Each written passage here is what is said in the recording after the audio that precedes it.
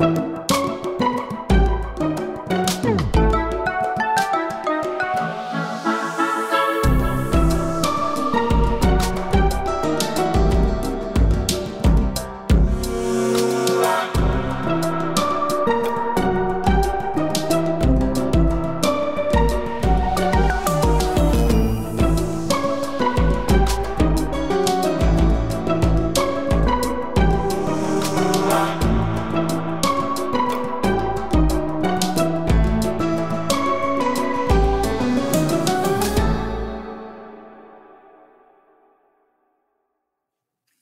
kids, howdy, and welcome to Conscious Embodiment Astrology and Dreams with Dr. Michael Lennox. That's me. Hey, Zoe. Good morning, good afternoon, evening, whenever people are listening. All the times, all the times, and we're we're coming at you for November twentieth through the twenty sixth. We are in the tail end of the Scorpio Mansion, about to about to move over into Sag. So we're wrapping up the death and rebirth. We're going to switch over to Jupiter's rulership uh, uh, in a couple of days. Talk all about it, but let's start, like I like to do, with a quick question. Now, I think I actually answered Sue's email back at the end of October, but I kept the question in my little podcast question uh, list because it's a it's definitely something I've been asked before, and it's uh, let's clear this up. Great. So Suze writes to me, hoping this is a place to add a question for the podcast or for a quick answer. Following your encouragement to look for Libra and Taurus in my chart during the eclipse, it seems there is no mention of Libra in my chart. Can it be that we have signs that are absent from our chart? If so, what are the implications? Thanks, and thanks for everything. I practice my and I love this. I had this is maybe why I'm reading this question on the air. I practice my daily plank pose during your Instagram red robe astrology videos. Uh, so that I apparently uh, I keep um, delighted to be a part of your plank. And indeed, it's a good plank length. My average video is between 90 seconds and 125 minutes, uh, 125 seconds. So a good like minute and a half, two minute plank. And what a great question. I've actually never thought about this, so I'm really keen to hear the answer. Yeah, yeah, and this is not uncommon for somebody who's new to astrology to look at a chart because they are sort of complex visually, and and if there are no planets in the sign of Libra, it can happen that someone will be like, "Well, I don't have any Libra in my chart." So the the the, the simple answer is no. It is not possible to mm-hmm. be missing one of the twelve signs. They're all gonna be there, though a couple of distinctions. One is if you don't have any planets in the sign of Libra, there won't be a way that an aspect of your consciousness is driven by the lens of the Libra archetype. But you will absolutely have a house in your natal chart ruled by Libra. Hmm. 12 houses, 12 signs. When most people take their first breath, there's an even distribution of those 12 signs and the 12 houses, and one sign will rule each house in the chart. And this is, you know, there are a lot of chart visual styles that you might get online, like astro.com is one. And if you just go with their default visual style, you're going to see the glyph for Libra, not the word Libra or the or the you know you it's going to be hard to read. So you have to sort of picture the the sign for any particular well, the symbol for the sign and look for that in the chart. Some house of the 12 of the hou- houses in your chart will be ruled by Libra. Now, there's another phenomena in astrology called the intercepted house, where a polarity, that is, two signs that oppose each other, might not rule a house in the chart, but will fall inside of a house. That's called an interception, and it implies that any of the energy of the planets in those signs, or if there are no planets in those signs, just the energy of the signs themselves, which we all contain everything, will be a little diminished in the first 40 years of a person's life. And then at midlife, there's a shift, and those intercepted energies become like integrated more powerfully into someone's experience. And if you were looking at a chart where Libra and Aries were intercepted, you wouldn't look for that Libra glyph to be aligned with one of the lines that mark the 12 houses, but falling within the house that Libra falls into, like not on a line, but floating in the middle. That's a signal that you're intercepted. And it might be, Suze, that your Aries and Libra trajectory are intercepted. So when you look at the chart, you don't readily see Libra ruling a house, but it'll be falling inside of a hmm. house. So nobody loses any of the 12 signs. It's all in there for all of us, but there might be some ways you got to look a little carefully for it.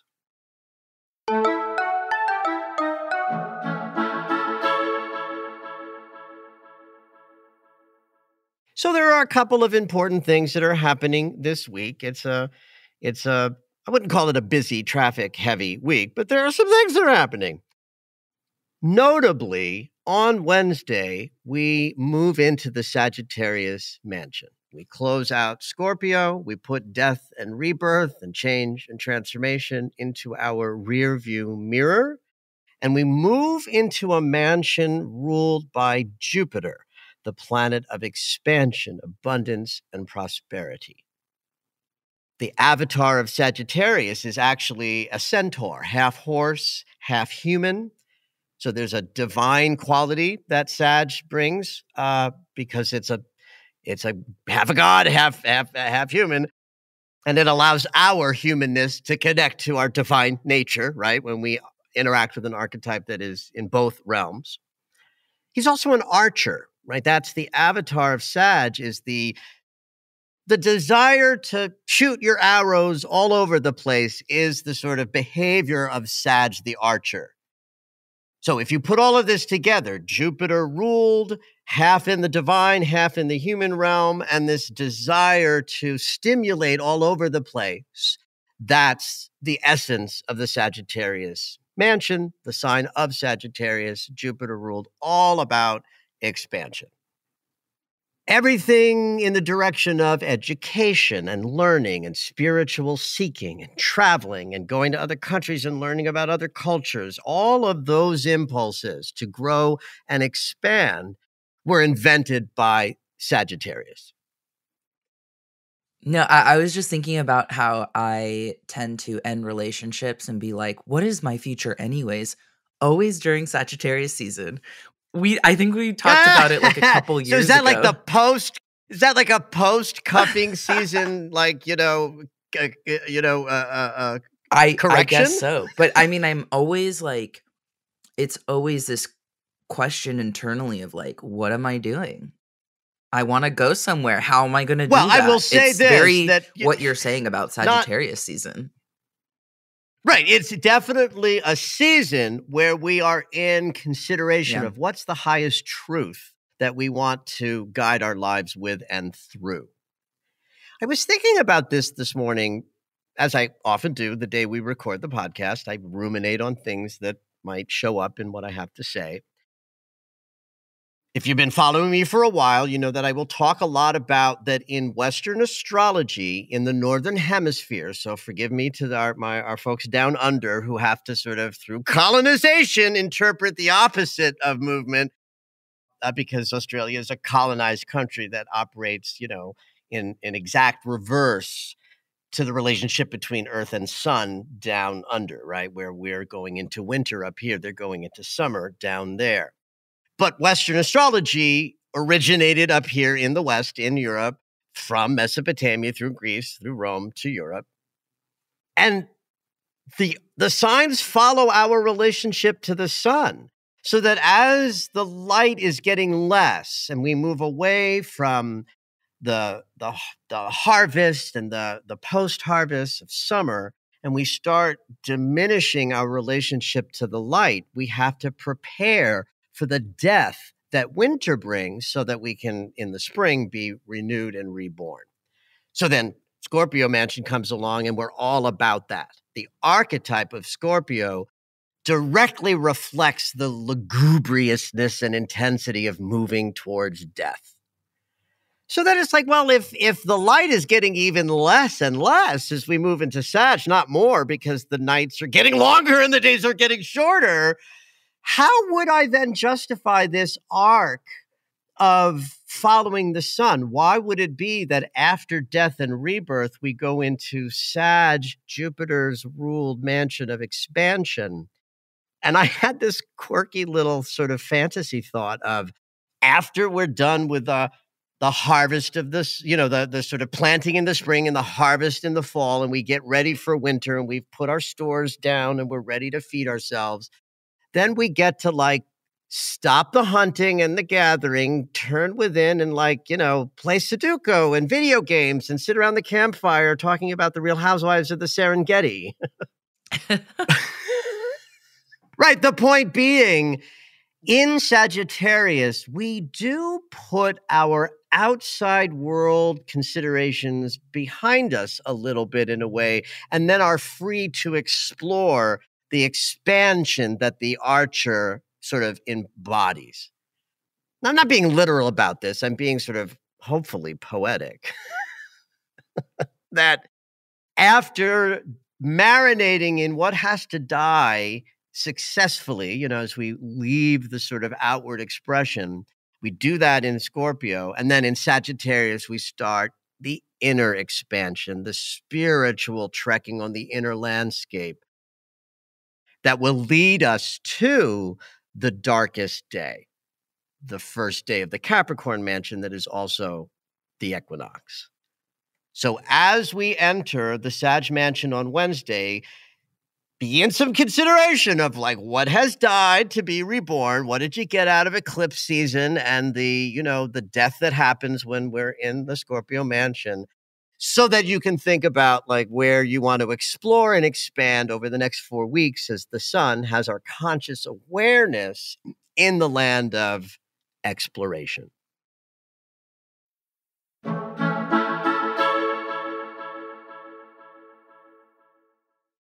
Two days later, Mars moves into the Sagittarius mansion and joins the sun in his trek through Jupiter's territory.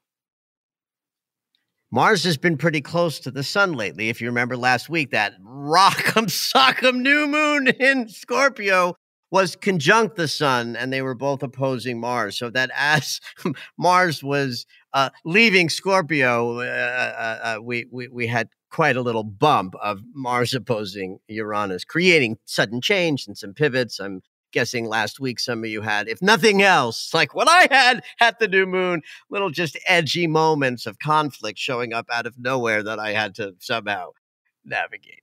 So when Mars is in Scorpio, everything is more intense, especially in the world of our reactions and our angry reactivity that can be stimulated, we, that gets a little deeper, and we're a little easier breezier when Mars moves into the mutable fire mansion of Sagittarius. Technically, he's neutral here. He is neither, you know, amplified or diminished. So it's a neutral territory for him. But if you think about Mars as the planet of action and the sign of Sagittarius as being a sign of stimulation, there's actually quite a lovely harmony for how we experience our bodies, our relationship to decision making when Mars moves into this territory, we where he can be easily stimulated and uh, um, that our physical experience is supported to explore lots of stuff.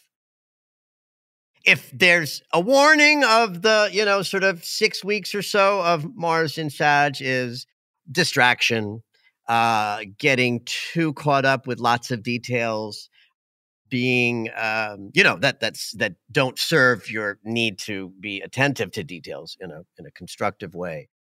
I, I reminded I'm reminded of a boss I had back when I did, you know, work in the entertainment industry on the on the business side of things, where I had a boss who used to get frustrated with me all the time because he would say to me, Michael, you're very good at the interesting, but not so good at the important.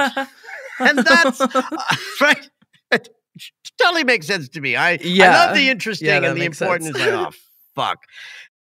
So that that little uh, that cutism is a good way of understanding Mars and Sagittarius will be very connected to the interesting and maybe a little less aligned with the important but you know, forewarned is forearmed. You might need an extra discipline added to your experience from a grit sort of place or a manufactured focus uh, between the 24th of November when Mars moves in here and then the 4th of January when he leaves. So for the rest of the year, we are more excitable, more interested in trying lots of different sort of things on our list it's a good bucket list sign. You know, Mars Sag says, let me get out there and have an experience of value. Um, and the only minor sort of like, and I won't even call this a warning, just a consideration that if Mars guides our decision making and choices and how we focus on things, that something that's very present during the next six weeks is going to be easy stimulation and a desire to get a lot done. But what might be harder to come by is slow, steady, steadfast, focus, discipline and responsibility.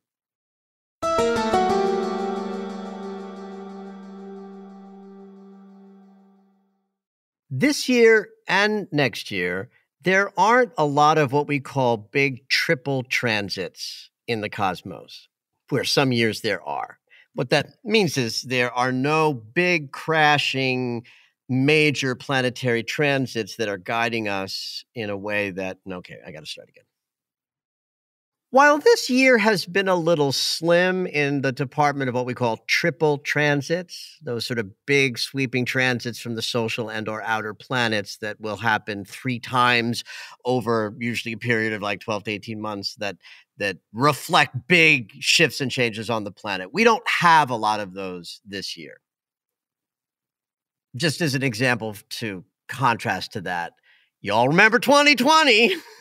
Yes. that was a wild year on the planet, and there were big transits being hit by Saturn and Pluto that that appeared all year long that were like major, right? 2021, same thing. Uranus and and uh, Pluto were square. I mean, Uranus and Saturn were squaring mightily that year. Now we're in years where the big energies are a little smaller in nature than say 21 and 2020. But one of the things that is true, I think, of astrology is, is that that sometimes when the outside energies, if you will, are smaller, we vibrate more powerfully, like from the inside out, right? At any rate, there is a little triple transit that hits this weekend that's been part of the entire year that you may or may not have some identification with this if you look back at the dates where this hit the first and the second time. We are wrapping up a semi square between Saturn and Chiron. So the great teacher and the great healer have been in this mild conflict energy of the 45 degree semi square all year long. Now, a semi square is mild geometry, right? That's it's a square is brutal, 90 degree, you know, big conflict and obstacle energy. And this is like half that. So it's mild. It's also not been a lot of other triple transits in this way this year to distract from this energy. And so let's let's talk about what what what might be being generated by this semi square between the teacher and the healer. Well, first of all, we got to learn some things and heal some things. like this like both of them are up there saying to all of us collectively, you're not going to be able to meet life on life's terms in the way that's coming and if you tuned in last week, you know that the next couple years are rough with big change that could be difficult for us. And all of us are being called, I think, this year to do as much healing, thank you, Chiron, and growing into more wisdom, thank you, Saturn, as we possibly can. And so this transit hit in late February, mid August, and now as a kind of thread of bumps in the road that might have brought up some themes of a demand to heal and a demand to learn. Saturn is always going to reflect our progress towards things that are important to us because Saturn is the planet through which we build stuff. So, in this regard, I would call this a delay slash procrastination transit.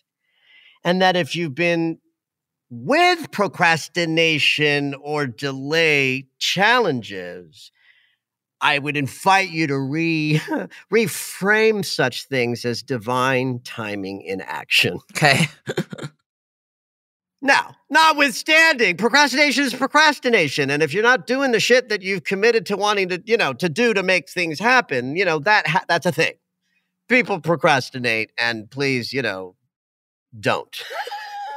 that's my advice there how to face procrastination. Stop procrastinating. Just there's, don't there's, do it. There's my, my wisdom. Just don't do it. But I do invite you to look around your world and see if you can't reframe some of the what you might have called procrastination this year and just call it divine timing in action that we sometimes slow our own roll because we're we don't maybe know this you know clearly in a conscious way but we're actually adjusting our rhythm and our pace to meet life on life's terms. And this is for sure, Z's, a life on life's terms transit. So, if you're feeling particularly sort of delayed or squeezed a little bit in terms of movement of things you are trying to accomplish, you might want to look back to February 23rd and August 14th and see if there's any thematic connection to those two time frames because those are the dates this transit hit the first and the second time. And if you do notice something, understand that this is the third and final hit of this particular transit. While next year will bring us all kinds of stuff we have to grapple with, some measure of delay, lesson, wounding consciousness comes to a close as we move through this weekend. I'll say this that I love the fact that this transit that kind of pushed us all into more responsibility and, and healing work this year, that I love that it comes as a kind of exclamation point after Venus is retrograde, after eclipse season ruled by Venus, and fully now in this Scorpio driven lunar cycle where this week we move out of Scorpio into Sagittarius, really kind of putting the emphasis on change and transformation to bed. And as we move through this upcoming weekend, we're also putting to rest the calendar year's demand that all of us take some extra responsibility for our wisdom and allow for deep healings to take place. Huh.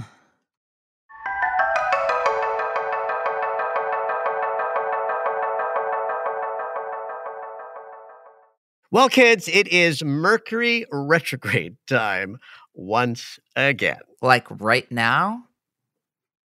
This week? well, the first act is starting right now. yes. The retrograde backward motion doesn't happen until December. That process is December 13th through January 1st. It's actually like January 1st or 2nd. So we're going to cross the, the threshold uh, into the new year with Mercury retrograde. So that backward motion doesn't happen until December. So you can think of December and January as the kind of bumpy months from retrogrades, from Mercury's actual backward motion. But the first act, what we call the retrograde shadow, starts this week on the 25th, Saturday. I jokingly refer to this part of any personal planet retrograde as the brochure.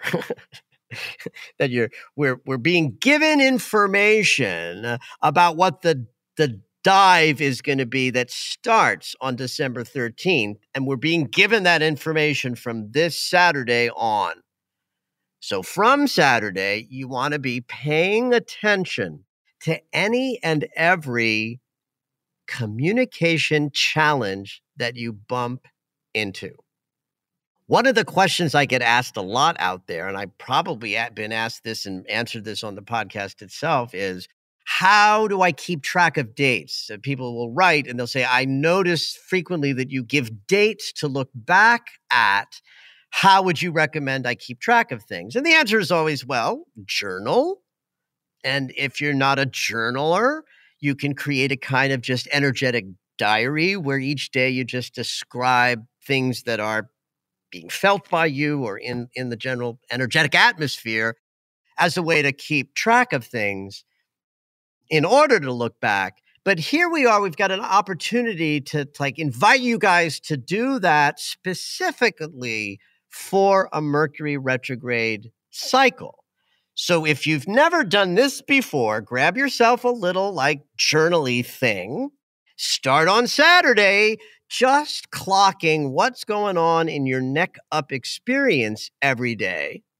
Because there are a handful of triple transits that Mercury is going to move through from Saturday this weekend through December 13th, that he will repeat in the retrograde while moving backwards between December 13th and January 1st, and then repeat a third and final time after he goes direct on January 1st through the 20th or so of January in the third act.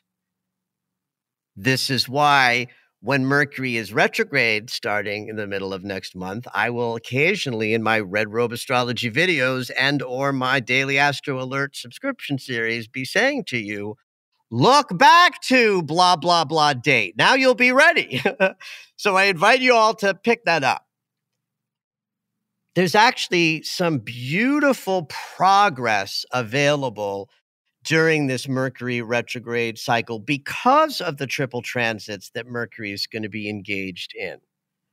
Progress meaning Mercury is going to trine Jupiter, which is going to open our sense of confidence up so that we have a clear vision and the enthusiasm needed to say, I can make that vision happen. Sextile Saturn, that's productive and, and, and energy that can make things happen if you show up for the things you have to do. Now, the the challenging geometry is the sesqui-square to Uranus is going to make this retrograde very retrograde. Like extra breakdowns. Uranus brings equipment failures and electronic challenges and digital shit. Uranus invented the, you know, digital technology. so uh, a Mercury in agitation to Uranus in a retrograde, yeah, you can count on this upcoming retrograde to be challenging in your like transport and digital world and then a square from mercury to neptune is going to Oh, add man. yeah i love it you're learning enough to know that that's going to be challenging and the the challenge of mercury in a square with neptune is mercury's all about communication and clarity and neptune turns on the fog machine when he's triggered with challenging geometry this will mean more to y'all when we're when you know when we're in December and we do the podcast that talks about the backward motion. But uh, uh, uh, this is the first time we've ever been at a moment since starting the podcast where it even occurred to me to speak out to you guys before the cycle starts and invite you to grab a pad, write some things down every day so that when Mercury turns around, you can make direct connections to things that might have come up in the weeks between this Saturday and December 13th when Mercury turns around. Did you know that Michael has a daily astro alert? If you enjoy hearing the weekly astrology, you might like knowing more about each day. When you subscribe for the daily astro alerts, you'll get an in depth explanation of the day's astrology sent right to your email. Subscriptions are only $10 a month, or you can purchase the yearly subscription at the reduced price of $100. To subscribe, head over to michaellennox.com.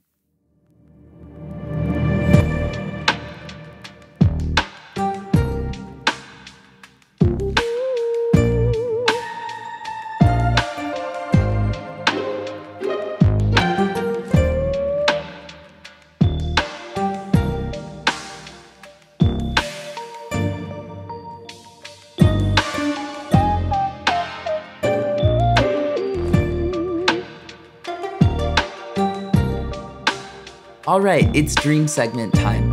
Every week, Dr. Michael will interpret dreams that are sent in via email or take a live caller. If you would like your dream interpreted on the podcast, you can go ahead and email us at dreams at michaellennox.com. Hopefully, your dream will make it onto the show. This week, we have an email and dream from Megan. Um, and she gives us two different themes, but I'm just going to read the first theme. Megan says, Hello, Dr. Michael and Zoe. First, thank you so much for the energy and light that you bring to the planet. Your work brightens up my world, and it's a gift to many. I have two different themes that I'd like to share with you. Maybe they're yeah. related to what I'm experiencing in life. The first dream I had involved cutting my hair. In the dream, someone who was a friend, and that's in quotes, was cutting my hair. I do not remember who the person was, but I know their vibe in the dream was in a friendship role. Ah, got yeah. it, got it. The person kept cutting my hair, and I was watching all the pieces fall to the ground. I became upset when I saw all the hair on the ground because I had just cut my hair at the salon and specifically asked for only a half inch to be cut off. I told the friend that I just had half an inch cut off and did not want it any shorter. The details I remember most are being upset by my hair being shorter than I wanted it to be, and the visual images of the pieces of hair on the floor. A few weeks prior to this dream, I had a very similar one. I remember fewer details of that one, but the theme was very similar in that my hair was cut much shorter than I wanted it to be. And I was really upset about that short hair. So I just wanted to stick to that hair theme, but I did want you to know that um, her other her other sure, recurring sure, sure. theme involves children drowning in general. And then she gives us a little context at the end of her email. And she says, I'm wondering if these have any connections to my current life events. Considering that both dreams occurred more than once, I'm certain there must have a meaning that correlates with my waking life. I'm uh, there are many aspects of my life that are at a crossroads.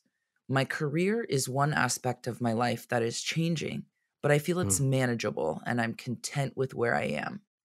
The area of my life that's most complicated is regarding my children. We've experienced some challenges over the past few years, and I believe my life journey is to be an advocate and a voice for them. My heart and gut are guiding me in one direction, but anytime I try to focus on the action steps, my mind gets frozen with fear and I'm paralyzed. In this area of my life, I feel stuck and trapped, even though my intuition is clearly guiding me. Thank you for taking the time and energy to read through my dreams and help me process their meaning, Meg. Hmm. Oh, wow. First of all, I love all of that specific context. And of course, you know, the context always counts. That's sort of the beauty of working with our dreams. This is that our dreams will reflect the underlying sort of places where we say no mm. to life. So if the waking life experience that Megan is having is about moving into new territory in a risky kind of way, which it sounds like there's some risk there as she seeks to be in a more authentic expression, that our dreams reflect that because they help us go down below the surface of our awareness where we are either in fear or limit or lack or some kind of constriction. And I, I, think this is incredibly important. It's like you can't, like, the manifestation teachers would just tell you, you can have anything you want. You just have to stay focused on what you desire and pretend that it's already in existence. And I don't mean to be mocking about that technique because that is how it works. You do manifest by keeping, you know, an idea of what you want and filling yourself with the feeling of having it and using that as a as a tool of attracting and and and you know receiving something that you desire. But it ain't gonna work unless you're also spending some time in the places where we say no, where we're afraid, where change is overwhelming in some regard. And Megan's cutting of the hair has a lot to do with changing her role in the world. You know, we get very connected with our hair as part of our presentational self. Symbolically, then, hair connects greatly to feelings of attractiveness and the power that comes uh, when we're moving through the world confidently about how we'll be perceived by others. There's info that comes to us through First Nations folk where long, uncut hair was thought to be connected to a greater intuitive experience. In fact, remote viewers in World War II that were being brought from First Nations people into military places to use their intuitive gifts were then shorn of their hair and it diminished all of their intuition. That might be a bit of an urban myth, but it also means that our hair connects us to intuition. If we add the Judeo Christian myth of Samson, then we have another way that the sort of attractiveness quotient of hair is also mythologically connected to strength and power. So that's just a handful of ways that hair is important. And if Megan is having her hair cut and the cutter is a friend, then we're gonna we're gonna declare the cutting to be good. Now, like if, if, if it was an enemy cutting the hair, I'd be like, well, be a different story. then there's a quality we have to explore. But the fact that this was a friendship role, but not someone known to Megan, I think that's important. That is, um, it's a higher level character aspect by virtue of not being someone she knows. But archetypally, it's a helper. It's a friend guide. It's it's it's a part of her that knows that this is needed change is taking place. But change is scary and overwhelming.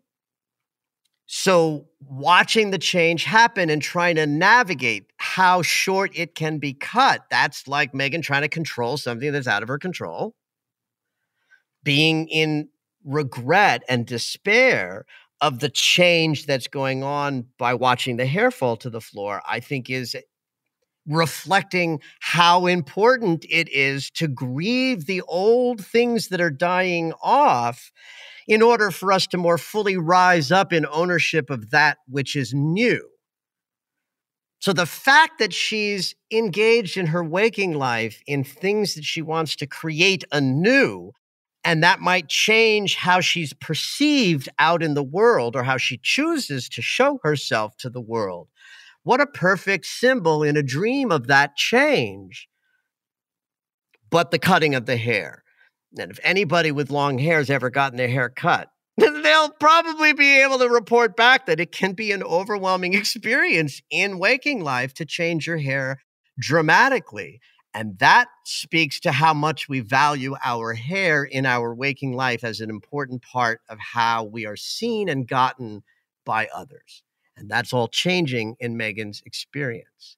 And the fact that she's orienting herself to work in the world that would serve children, I even think the other theme, even though we know very little bit about it, the drowning children in the dream is a little bit also of a death image, such that something can be reborn in the area of how Megan sort of holds and contains the idea of innocence. Children represent innocence. Drowning represents emotional overwhelm.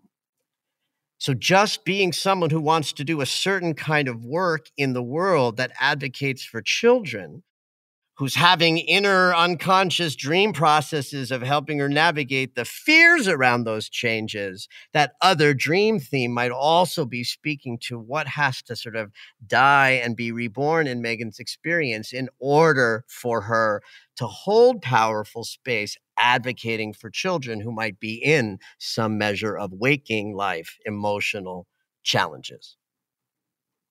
And if I leave you with anything, Megan, it's just to repeat and reiterate the grief and despair of the hair falling on the floor is as important to be with as building the new psyche is. And the dream simply allowed you to go into a place where symbolism could get you connected to the emotional content of the grief of that which is being let go of so that you can move more powerfully into the next chapter with your new hairstyle, rocking your new identity. Have at it. Thank you for listening to Conscious Embodiment Astrology and Dreams with Dr. Michael Lennox. You can find us on Apple Music, the iHeartRadio app, and anywhere you find your favorite shows. Head on over to michaellennox.com for information on astrology readings, the daily Astro Alert subscription, upcoming classes, and to join the mailing list.